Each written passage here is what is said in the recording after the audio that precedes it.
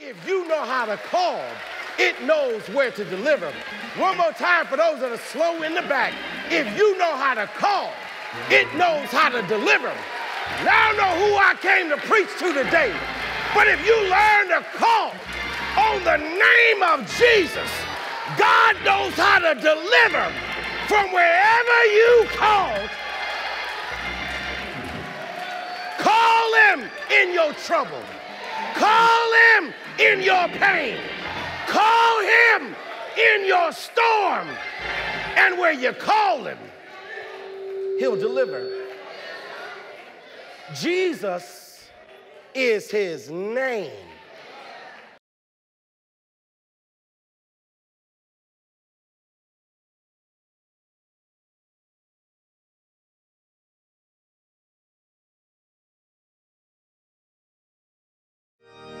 Hallelujah. Come on and give God glory. Praise the Lord. Praise the Lord. Isn't He good? Praise the Lord. Isn't it good to be here in the sanctuary where you can be free to worship and lift up the name of Jesus? Praise the Lord. If you're grateful, praise the Lord. If you've come in to give God praise, praise the Lord. Hallelujah.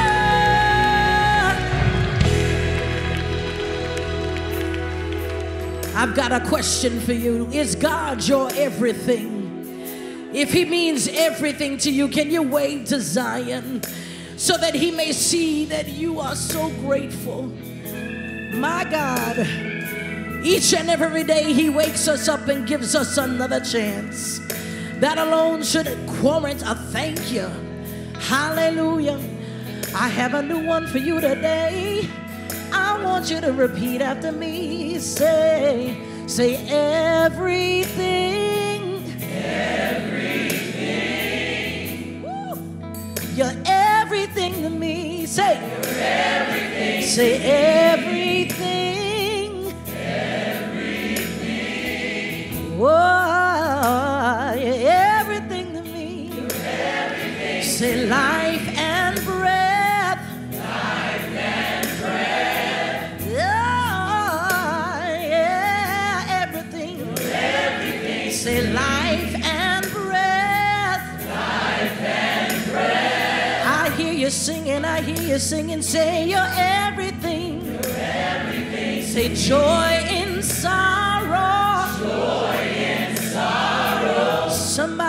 Make this song their own. Say you're everything. everything. Say hope for tomorrow. Hope for tomorrow. If you could join us as we call a few names of the Lord. Say. Master.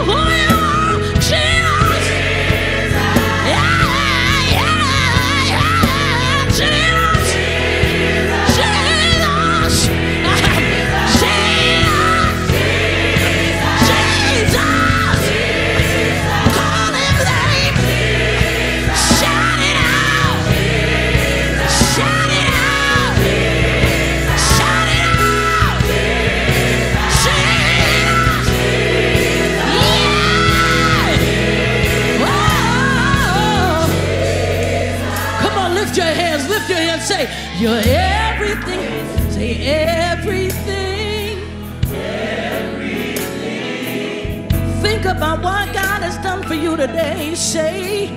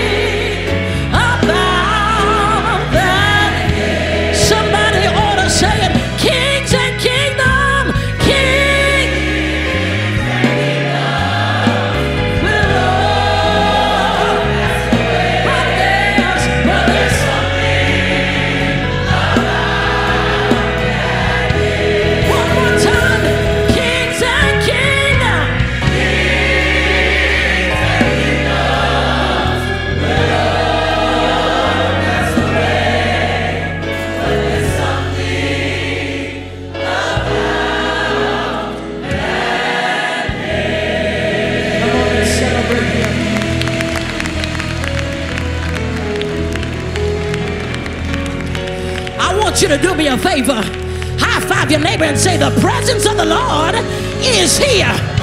High five your other neighbor, say, The presence of the Lord is here. If ain't nobody didn't know, now they know. Love.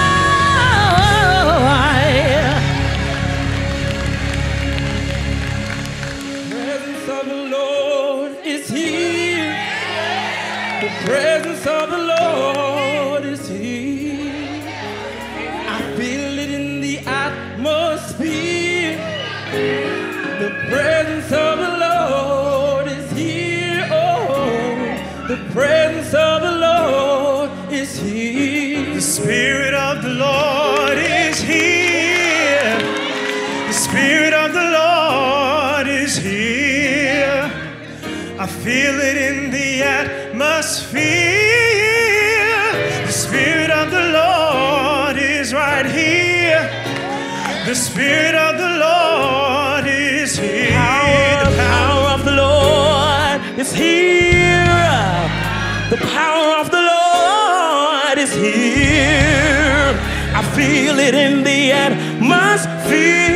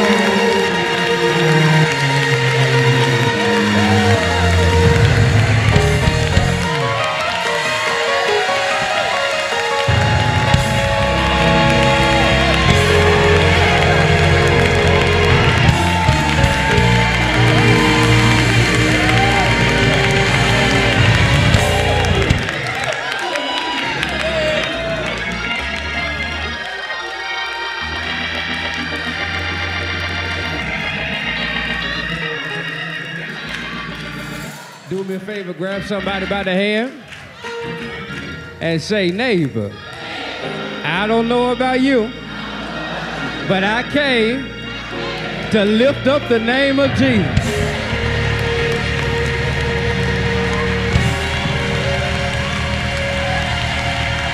Now lift up the name of Jesus. Has he done anything for you? Lift up the name of Jesus food on your table, lift up the name of Jesus. Clothe you in your right mind. Lift up the name of Jesus. I gotta go. I gotta go. We got one hour. We gotta go. We gotta go. We gotta go. We gotta go. We gotta go. I got 10 seconds for somebody to give God the best praise. You lift up the name. That'll be all right. I said lift up the name.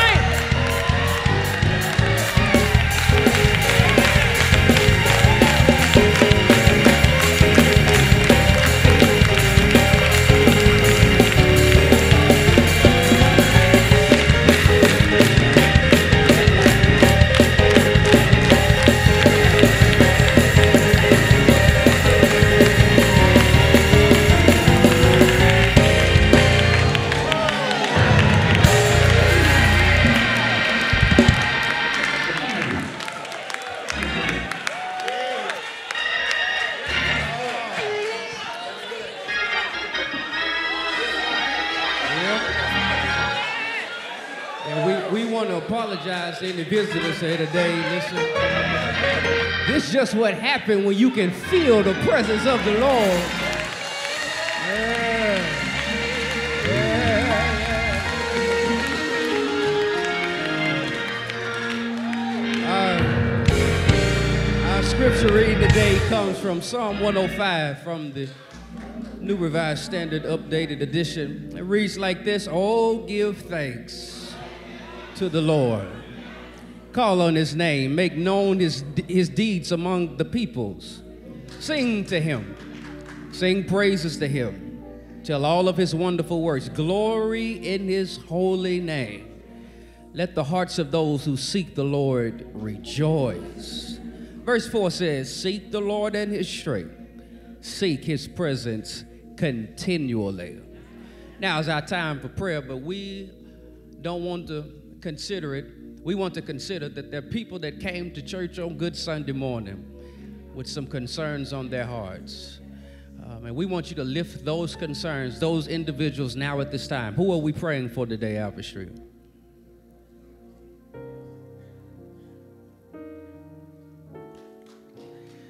We're also praying for Melanie Moore in the loss of her brother, Michael Staten.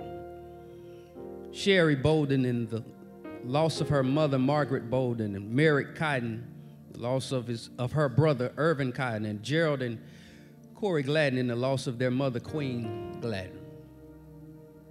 Let's go to God in prayer. Lord, we thank you. That, Lord, even sometimes we can feel your presence, we can feel other things as well. Lord, I'm praying for my brother and my sister somewhere on my, on my row, somewhere in this vicinity, or maybe even watching me online. Lord, you know perfectly and intimately their struggle. As they're going and having to navigate the valley of the shadow of death. Lord, we're praying that you would be like you were with David, you would be with them. Lord, I'm praying for that person that's grieving the loss of a loved one today.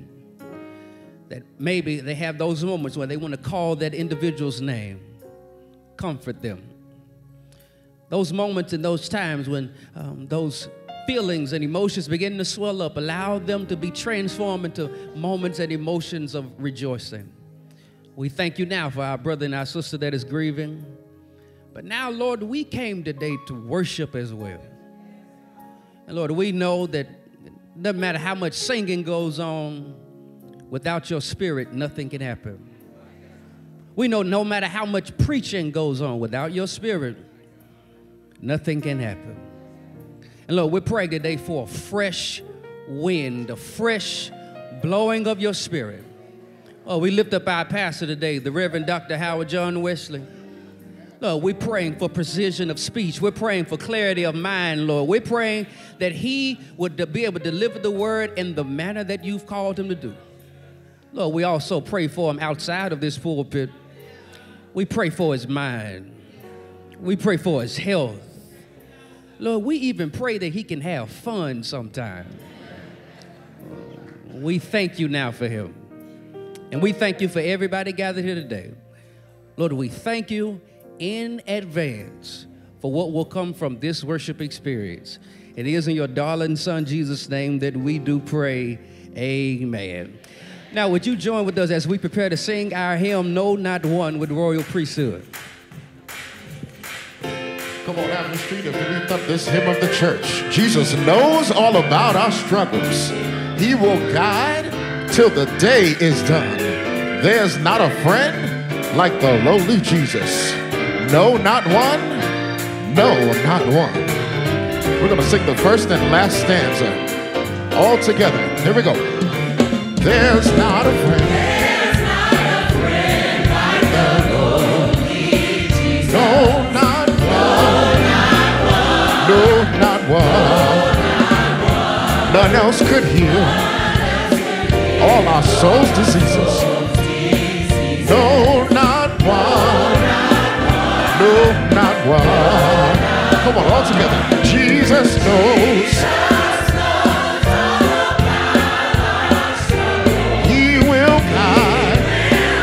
The day is done. There's not a friend. No, not one. No, not one. Come on, last stanza. Was air a gift? Like the Savior given. No, not one. No, not one. Come on. Refuse? Will he refuse us a home in heaven? No, not one. No, not one. Come on. Jesus knows. He will guide till the day is done. Come on. There's not a friend.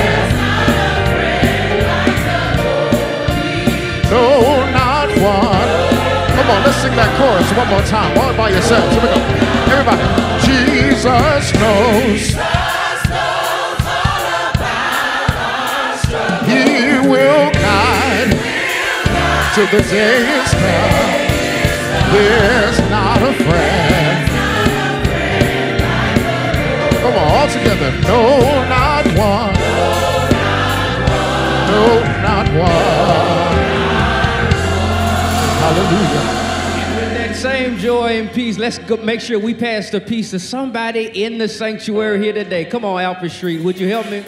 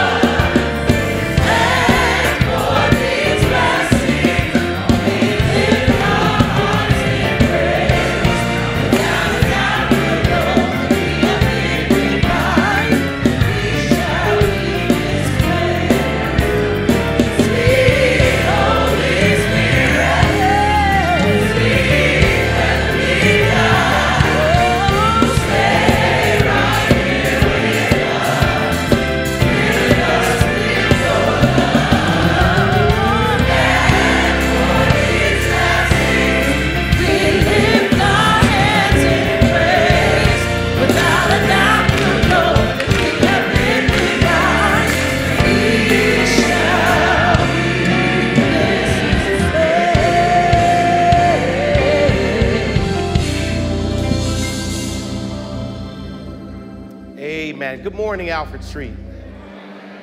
To our guests who grace us with the presence of God by your presence and worship, to our family and friends who connected all across and around the World Wide Web to join in with worship on us this Sunday morning.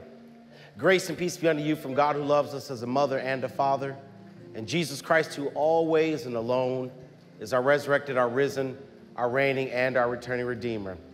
I don't know about you, but I am grateful, excited, and happy, glad to be back here at Alfred Street Baptist Church, and I thank you all for your prayers.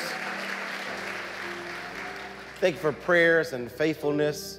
I've taken a few Sundays off just to rest a little bit, to travel, to drop a boy off at college, to get some sun, and have a whole lot more food than I should have had. But I'm grateful to God to be back in this space, and I don't take it lightly that people have whispered my name in prayer, and for that I am grateful. And I thank you all for being a true ch- church family and praying for your pastor, and I'm excited to get back to be with you all in worship as we begin to celebrate this 15th anniversary of Pastor and People of what the Lord has done and bring us together. We want to move in this hour of power worship service by pausing to break bread and share in cup. We have an open communion at Alfred Street that we openly celebrate with all who've confessed and believe in Jesus Christ as their Lord and Savior.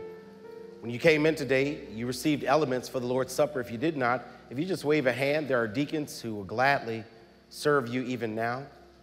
If you're watching online, we invite and encourage you to take hold of whatever elements you will use to connect with us as together we remember the death, the resurrection, and the imminent return of our Lord and Savior, Jesus Christ.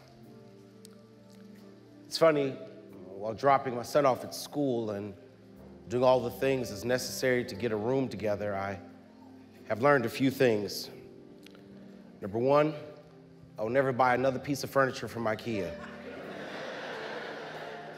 I refuse to spend hours of my life finding screws with a little Allen wrench to put anything together. Number two, while we were out shopping streets to get everything he needed, we got back and we realized that we hadn't bought any washing detergent. Uh, and he looked at me, he said, Dad, what's the problem? I can just use the machine.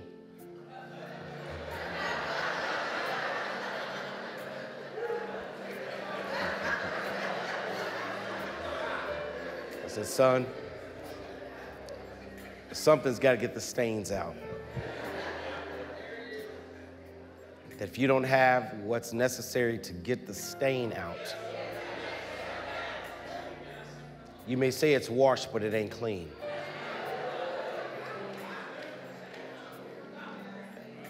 That there takes something to get the stain out. All of us come into church with some sinful stains.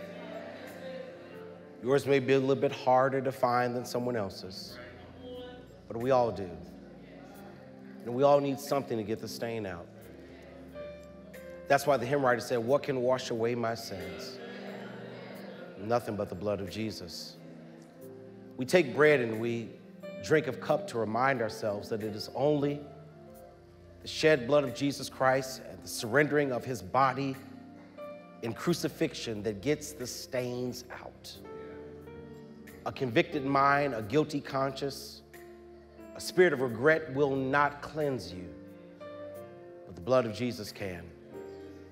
You need more than what you have in your own hand. You need what God has offered you. That's why we eat of this bread, because it represents the broken body of our Lord and Savior, Jesus, who is our Christ. He was crucified, He did die, He was buried, He is resurrected. He ascended to the right hand of God the Father, and one day He is coming back to the glory of our Lord. This is the bread of our Lord and Jesus Christ. Let us break and eat together.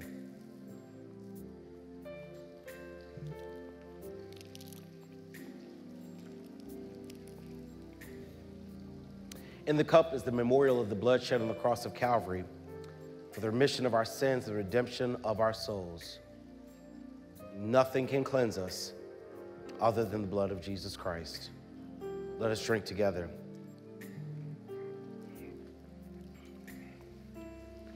Will you pray with me? God of mercy, grace, and love, in our faith we receive what you offer in your grace the complete and utter forgiveness of our sins, the eternal security of our soul's salvation, the power and the promise of the Holy Spirit to live lives that are free from sin and are pleasing in your sight and the commandment and commission we have to share your love and make other disciples. You've loved us, God. Teach us to love one another. And as you've forgiven us, may we forgive each other. In the name of Jesus our Christ, we do pray. Amen. Um, this is our hour of power worship service. This is our last one for the summer. Uh, we thank you all for moving quickly with us. Next Sunday, we go back to our three hour worship services. We invite you. Uh, come on and, and sit a while and stay. Um, but um, I thank you all. You all know that we don't raise an official offering. It's not because the church isn't in need of it or dependent upon it to do the work of ministry and the building of the kingdom, but it's because we believe that as you mature in your walk with God, no one should ever have to beg or force you to do anything that's right. We all know that God has blessed us, and everyone in here knows it's right to give back in return. I'm not going to stand up here and make you some prophetic promise and beg you and use some tricks to get you to give. Because at the end of the day, you ought to be able to pray and ask God's Holy Spirit to move upon your heart about what is appropriate to give. We're not here to debate what a tithe is off the net of the gross. What we're here to do is to learn to listen to the Spirit of God and obey. So I'm to ask you to be obedient, to be prayerful, to be generous. There's so many platforms you can use to give. If you're here today, we ask that you do so. If you're watching online, won't you to be more than just a watcher, but a supporter as we continue to make glorious the name of Jesus Christ, our Savior. Um, I want to thank God for all of you who've been faithful in worship. We get ready now to hear the Word of God in song as royal priesthood will come, then the Word of God in sermon, and then we'll go out and live the Word of God as we show it to the world.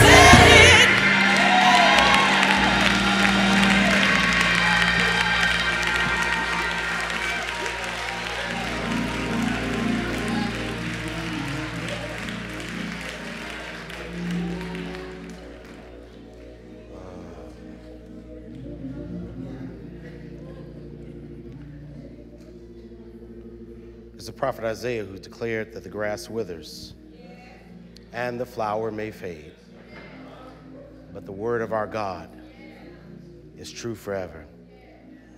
In a world where there's so little you can depend on, how grateful we are to have the gift of God's holy word with all the promises that we stand on. God, I thank you for the power of your word. That we still believe that you are able to step in the middle of nothing and whatever you command to be must be.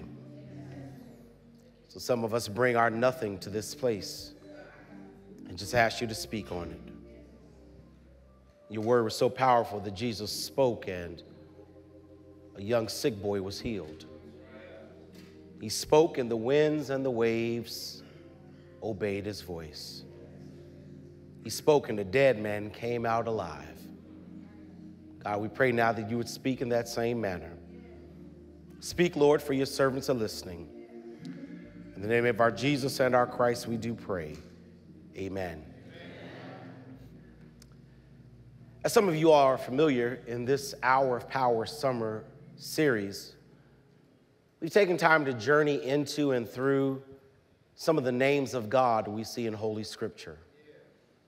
This is more than just a Bible study that we may have some erudition about the names of God, but more a recognition that each and every name of God is literally an invitation for you to come and to know God in that way.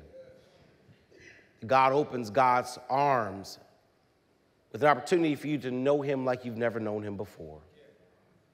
And each name of God is a promise of what God will do and who God will be. We started our journey, as I share with you, the name God gives Himself on Mount Sinai in Exodus 3 when Moses asked, What's your name? God's response is, I am that I am.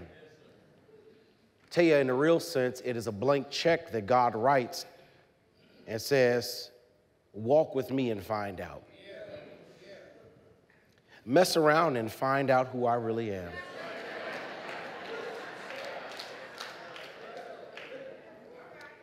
I want to thank our staff ministers, our interns, our guest preachers who've continued on helping us understand Jehovah M'Kaddesh, the God who sanctifies.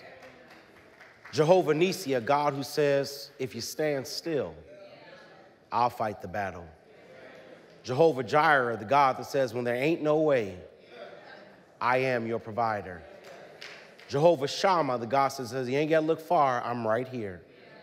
El Roi, the God who sees, Emmanuel, the God who is with us, Jehovah Rapha, the God who heals. And today, as we come to the end of our hour of power, I also want to bring a momentary end to the series. And Deacon Russell, I'm convinced that there's one name of God we must deal with. The most powerful, the most prolific, the most profound name of God, and any series on the names of God would be incomplete without this name right here. You don't have to take my word for it, though. I want you to listen to what the Apostle Paul says in his letter to the church in Philippi, Philippians, in the New Testament. And we invite you, as you're physically able to stand with us, that together we might heed and hear the reading of the Word of God. And I hope you've not forgotten that at the end of the reading, when the preacher says, This is the Word of God for the people of God, you're supposed to say, Thanks be to God. Philippians chapter 2. Normally we read from the New Revised or the New International, but this just sounds better in the New King James. Philippians chapter 2, beginning in verse number 5. Here's some words that prayerfully are familiar to you. Let this mind be in you, which was also in Christ Jesus, who, being in the form of God, did not consider it robbery to be equal with God, but made himself of no reputation, taking on the form of a bondservant, and coming in the likeness of men. And being found in the appearance as a man, he humbled himself and became obedient even to the point of death death on the cross. Here it is. Therefore, God has highly exalted him and given him the name which is above. You let me read every name. that at the name of Jesus, every knee shall bow. Watch this on things in heaven, on things in the earth, and even things under the earth. And that every tongue should confess that Jesus Christ is Lord to the glory of God the Father. God exalted him and gave him a name that is above all names. Do me a favor, if you would, just let your neighbor know you're sanctified. Tell him, neighbor, oh neighbor, there's something about the name Jesus. You may be seated in the presence of the Lord. There's something about the name Jesus. I shared with those at the 8 o'clock worship service that I really enjoy a good movie. As a matter of fact, my favorite pastime is to slip away on a Monday afternoon when all y'all are still at work and slide into an empty theater Order me some nachos with extra jalapenos and watch a good movie. I love action flicks, good revenge plot, some car chases, little gun battles, some time travel, and some superheroes. I like a good comedy, one it makes you cry laughing while you sit and watch the stupidity on the film. I like a good thriller. Have you sitting on the edge of your seat wondering how this is going to work out as it messes with your mind? I love good documentaries, especially those that highlight the history, the heritage, the strength, and the intelligence of black people. Um, I like just about all kind of movies. But let me tell you the one genre movie I don't like and care for. I don't care for horror films. Now, wait, wait, it's not because I'm scary. I don't like horror films because, Drew, I found that most of the plots are stupid. it's about some demonically possessed mass murderer and a bunch of folk that ain't got enough good sense to run. So, growing up, I never really had fear of these horror films Freddy Krueger didn't scare me. Michael Myers did nothing for me. Jason didn't scare me, keep me up at night. Chucky didn't bother me. But I gotta be honest, there's, there's one horror film that, that little, hit a little too close to home. One that got underneath my skin, one that bothered me a little bit. It came out in 1992. The setting was the Cabrini Green Projects in the middle of Chicago.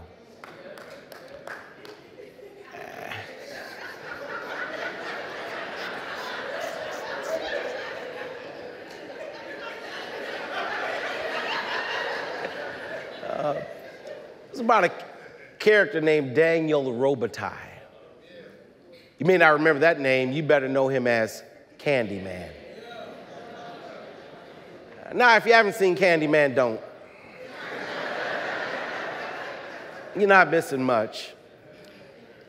Deacon Ernestine, it wasn't his hooked hand that bothered me. It wasn't even the swarm of bees that he could call and summon upon his victims. What I didn't like about Candyman was how he entered your life. Candyman wouldn't bother you unless you stood in front of a mirror and called his name five times. And if you stood in front of a mirror and called his name five times, he would show up and it was over for you. Now, I knew Candyman wasn't real, but I'm gonna tell y'all for weeks after watching Candyman, Siobhan, every time I walked by a mirror, I was tempted to call his name. The reason I did not was because I was raised good Baptist. And although I don't believe in Candyman, I was raised to believe that there's a name, if you call it right, he will show up. And there's a name, if you whisper it with reverence, things are changing your world. There's a name that even if you stutter when you get it out of your lips, when you get up off your knees, if you've called this name and called it right, something's gonna happen. And that is the name of Jesus. And I came by to preach today something I hope you already know that there is something about the name of Jesus. Wish I had some preaching folk in here because someone, when you heard the title of today's sermon, you said, Pastor, you ain't got to say nothing else. The sermon is finished right there because you know that something happens when you call on the name Jesus. Look, I'm not giving you no hoodoo. This ain't no myth. This ain't no magic. But I'm telling you that something happens when you speak the name Jesus in your situation. Ah, there's a witness in here. Something happens when you get on your knees and you lift up your feeble prayer and you come to the end of your prayer and say, God, now in the name of Jesus. Something happens when you lay hands on something and begin to cry out in the name of Jesus that there is power. Matter of fact, you know you're saved and sanctified when something happens when you hear the name Jesus. Listen, listen, I don't know where you are in your walk, but I'm in a place in my life. If I just hear the name Jesus, something gets to moving in my spirit, something gets to rattling in my mind, something gets to flushing up in me that, that when I hear the name Jesus, that, that's why that songwriter said, There is a name I love to hear. I love to sing its worth. It sounds like music in my ear, the sweetest. I thought this was a Baptist church name on earth. Oh, how I love Jesus. Oh, how I love Jesus. There's something about that name. The, the Apostle Paul recognized it. He said, That name ain't no ordinary name. Let me tell you about that name. God exalted that name above every other name. Hear me, beloved. There ain't no name you know that can do more for you than the name of Jesus. I'm sorry, I know that's not grammatically correct, but it's theologically on point. There ain't no name you can call that will do more in your life than the name Jesus. It's the name that is above. Notice, Paul did not say he gave him a name above all names, he gave him the name. That at the name of Jesus, watch this, everything on earth is gonna bow. At the name of Jesus, everything in heaven is gonna bow. And in case you don't know about either one of those, and everything below the earth, every demon in hell will bow at the name of Jesus. There's something about that name. Paul says, and everyone will confess that Jesus Christ is Lord. Jesus Christ Lord. Jesus Christ Lord. Listen at the names, if you will. His name is Jesus. Jesus. That's no random name. Go back to the story of the birth of Jesus. You remember that when God makes a decision that God's going to come through a virgin named Mary, he sends an angel, Gabriel, to Mary to tell her, hey, look, God's got a plan for you. God's about to do something that's going to trip you out. And when you get pregnant and have a child, the angel tells Mary, you have to name him Jesus. Jesus is the name God chose for himself when he came to the earth. And to make certain that name stuck, took when, when the angel went to Joseph, He gave Joseph the same message. Hey, Jay, God's about to do something with Mary. Don't trip. It's the Holy Spirit. And you're going to have a baby boy, but you can't name him what you want to name him. His name ain't JJ. He's not Joseph Jr. You can't name him Little J. His, his name has to be Jesus. Because Jesus is the name God chose for himself. Remember when God tells Moses name, he says, Listen, tell him I am. But now he says, and I got another name that I choose for myself. I choose the name Jesus. Why Jesus? Well, let's teach a little bit about what the name Jesus is and find our way to an amen. Jesus is the English translation of the Greek term Iesous. Iesous. I E S O U S. Iesous is the Greek translation of the Hebrew term Yeshua. Yeshua in English is Joshua. Don't miss this. Jesus, what we call him, is the English translation of Iesous. Iesous is the Greek translation of the Hebrew Yeshua, and Yeshua in English is what we call Joshua. The Jews who knew Jesus didn't use the name Jesus, they used the name Yeshua. Because Yeshua eventually becomes Jesus in English. Yeshua, Pastor Wesley, is a combination of the prefix for Jehovah, J E, and the verb shua, which means to save. Yeshua, Joshua, literally means God saves. Jesus literally translates God saves. So whenever I say the name Jesus, I'm making a declaration that we serve a God who saves. Come, come, come, come, here. God says, That's the name I want y'all to call me because that's exactly what I'm coming to do. I'm coming to save you from something you can't save yourself from.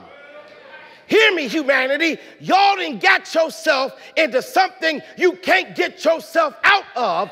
And I'm tired of watching you die in something you got in. So I'm going to come and I'm going to save you from something you can't get out of. God saves. Every time you mention the name Jesus, you're reminding yourself God saves. That, that, that's why the old saints, whenever they got in trouble, the first thing that came out their mouth, Jesus. When they heard some bad news, Jesus. When someone was dying, Jesus. When a child got locked up, Jesus. When things went from bad to worse, Jesus because they recognize we're calling on a God who saves. And if you learn to call the name Jesus in your troubles, in your trials, in your storms, in your pain, in your problems, in your hell, wherever you call the name Jesus, God will save.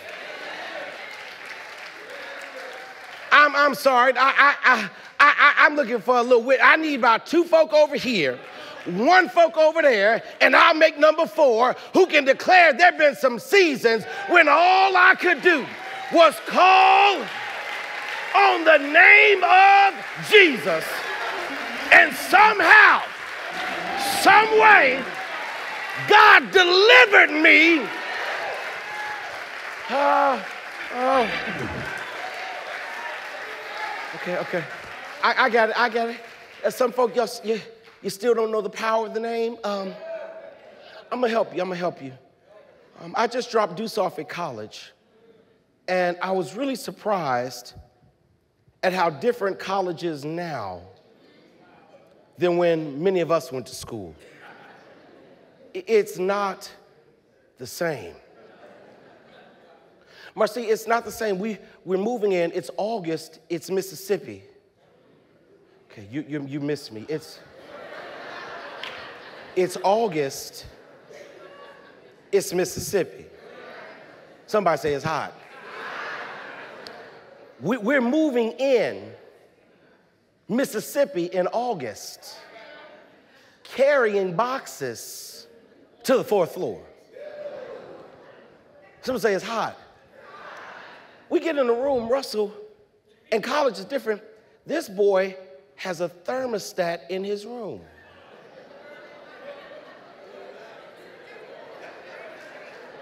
Now, see, you forget what a thermostat is.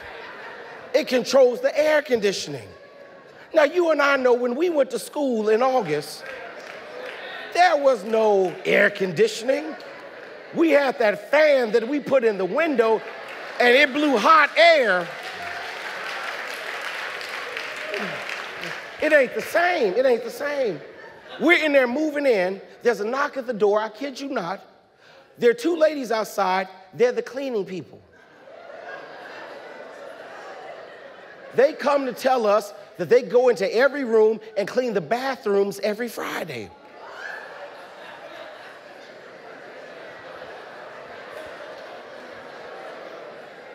Then someone else comes and they're offering laundry service. Yeah, you can bag your clothes up, give it to them, and they'll bring it back. I said, you don't, you don't get laundry service in college. You gotta learn the difference between dirty and funky. You just, you.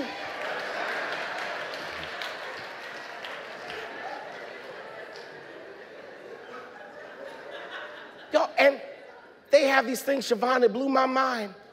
They're these little robots that run around campus called Starship robots. Google it when you get home, when you get home. Starship robots are a delivery system that on these phones these kids have, they have an app. And tie on the app, they can order whatever they want from the campus bookstore, from any of the restaurants on campus, from any of the cafes on campus. And when they place the order, it's put in the robot, and the robot goes to where the kid is.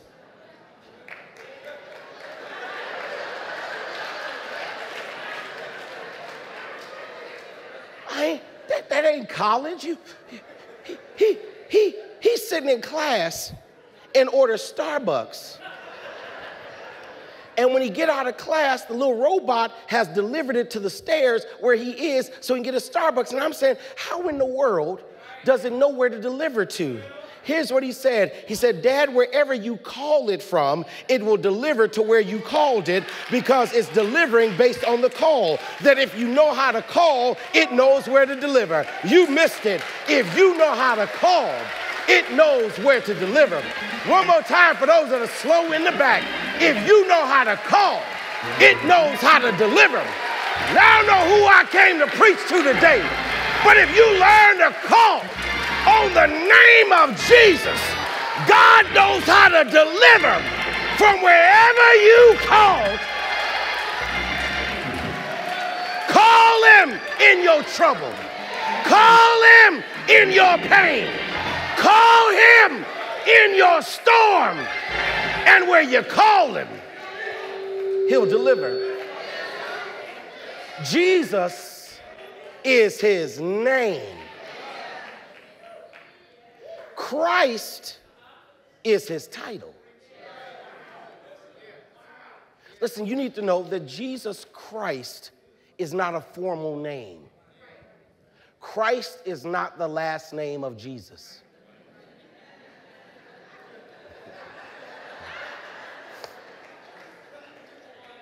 Christ is a title.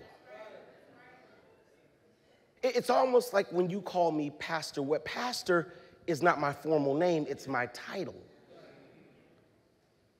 Jesus Christ, Christ Jesus is a title. Christ is the Greek term Christos.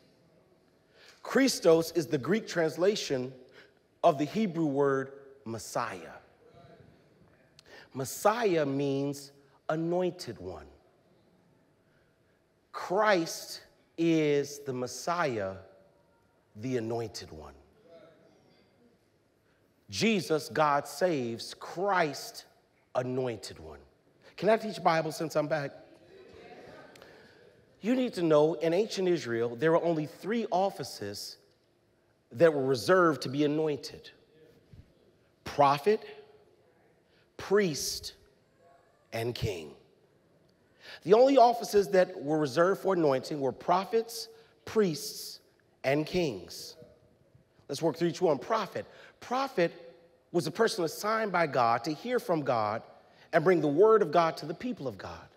Because God understood the people don't always get God right. So God had to pick someone to help the people get God right. So God would choose a prophet. The prophet was anointed. And the prophet could then hear from God and come to the people and say, hey, this is what God told me to tell you. That's the prophet. Then there's the priest.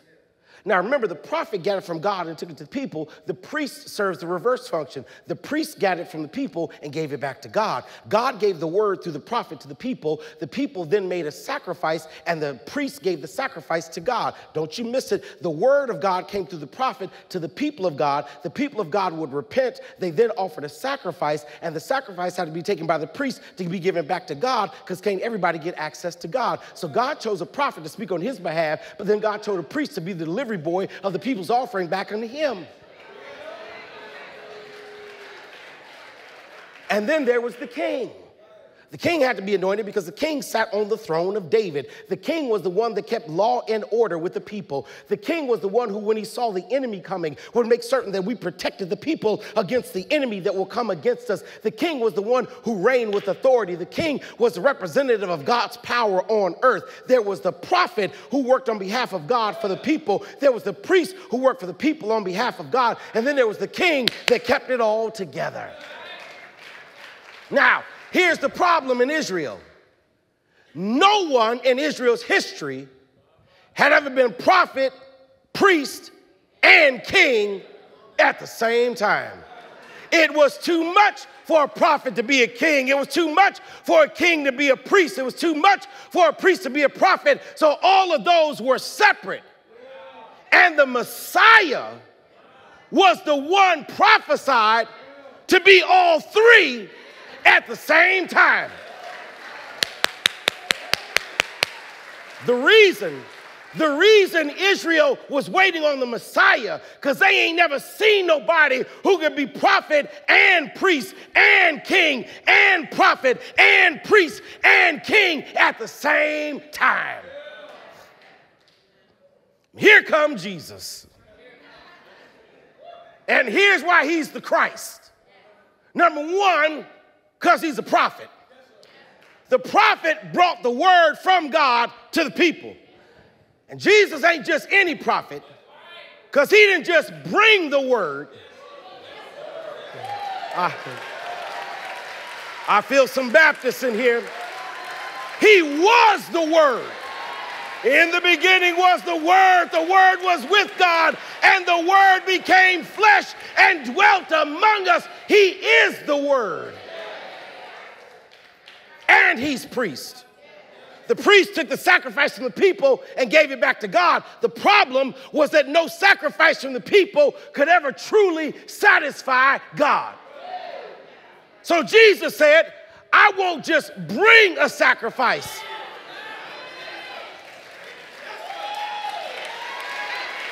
I will become a sacrifice.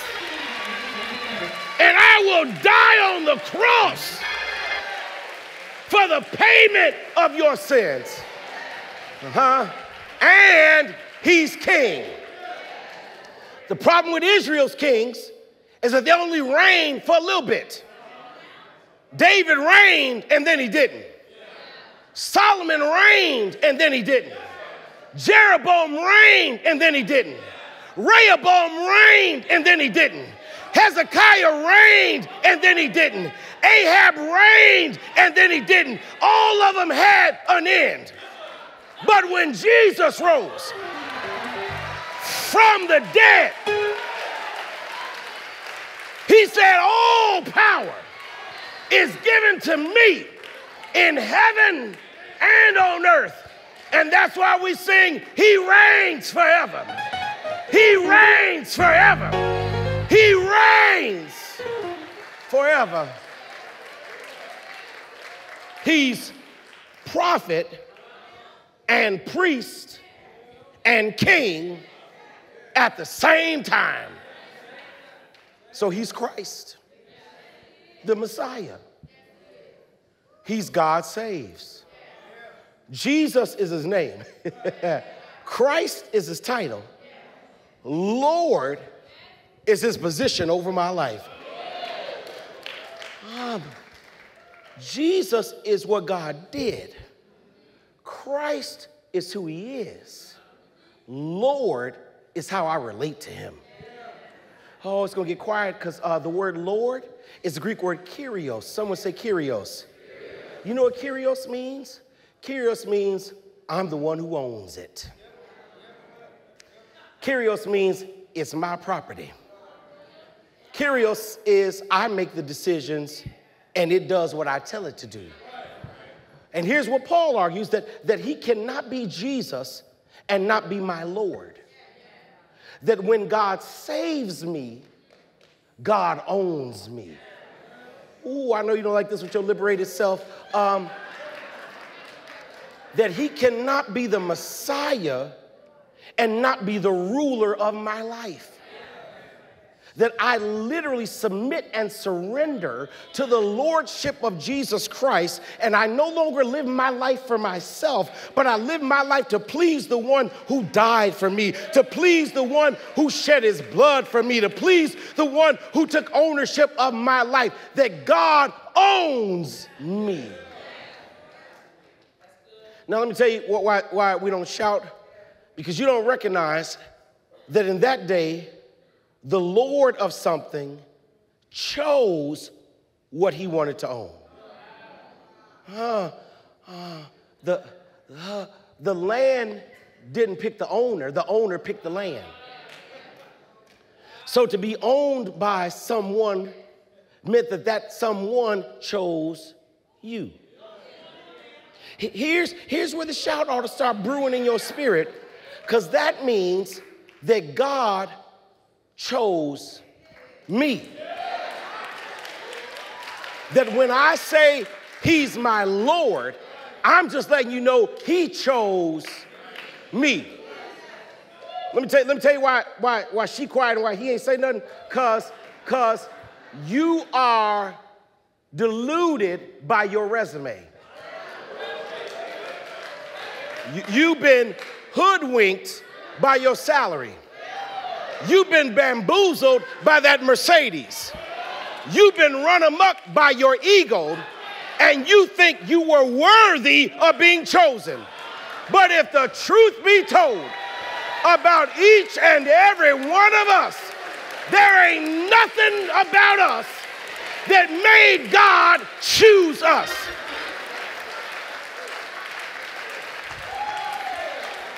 Can I make you shout? And the reason you ought to be happy is because too many other folk rejected you based on what they thought they knew, and God chose you with everything He did know. Hey, He chose me. Uh,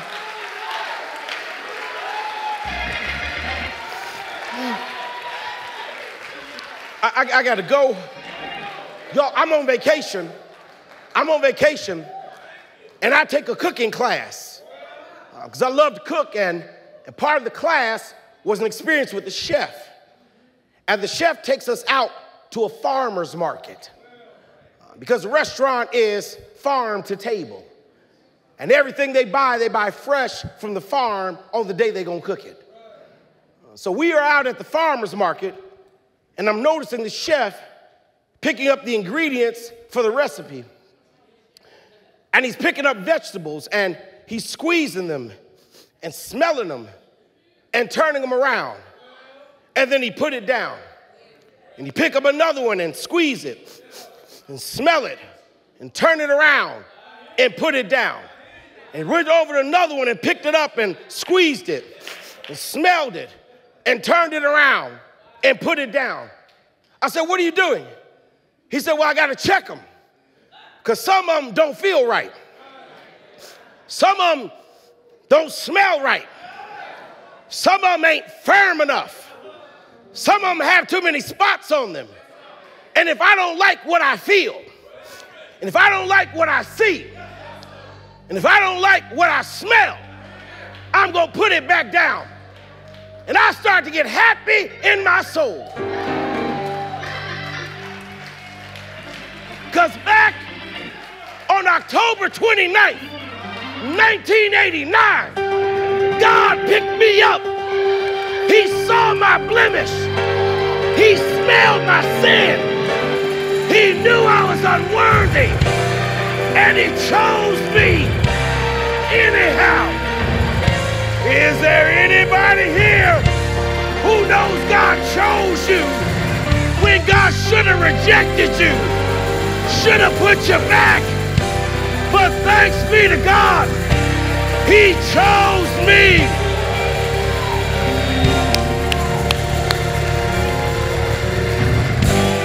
I'm sorry.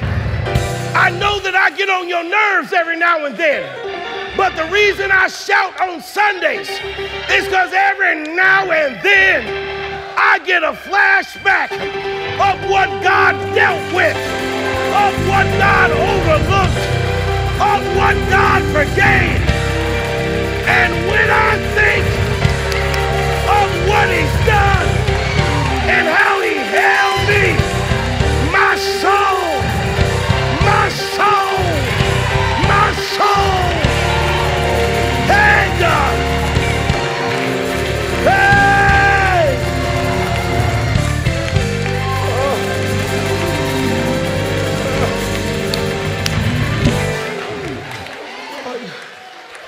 sit down. Somebody say he chose me. I've got to go. I got to go. When the owner chose something, that something then began to bear the owner's name. So all the world knew the owner had control. God owns us, and the name we wear is Christian. Christian, Christian. Do you know what that word literally means? Christian I know you think it means follower of Christ, and that's good, but that's not a literal definition. Christian male is a combination of Christos, which you just learned is anointed one, and the Greek suffix shun, T I A N, and shun means little one. Christian, anointed, little one. You, you almost, when I say I am Christian, I'm saying I'm a little anointed one. Oh, oh. Can I tell you why I survived the storms I've survived? Because I'm a little anointed one. You wanna know why folk can talk about you and you still rise to the top? Because you're a little anointed one. You wanna know why you walked out of that hell that almost destroyed you? Because you're a little anointed one. I'm a little anointed one. Which means that every time you see me, you ought to see some Jesus in me. Because I'm a little anointed one. That's why I got to watch how I talk to you. Because I'm a little anointed one. That's really why I didn't cuss you.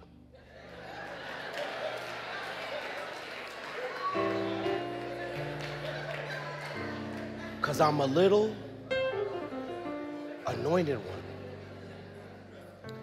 Let's go. Can, can I tell you all what one of the greatest joys in my life is? Really, one of the greatest joys in my life are to be with my two sons and to be out and about with them. And sure, someone come up to me and say, that boy looks just like you. I, I love it when they see Deuce. Deuce. Deuce favors me. He's got freckles right where I do. He's my complexion. He's tall like me.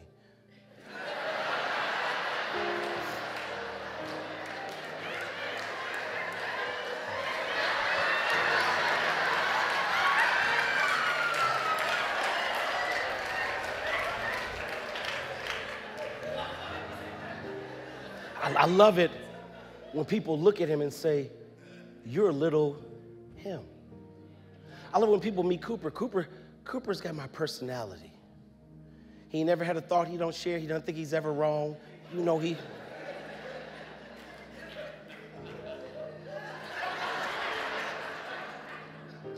And people look at my sons and go, man, they're just like you. They're just like you. The more time you spend with your owner,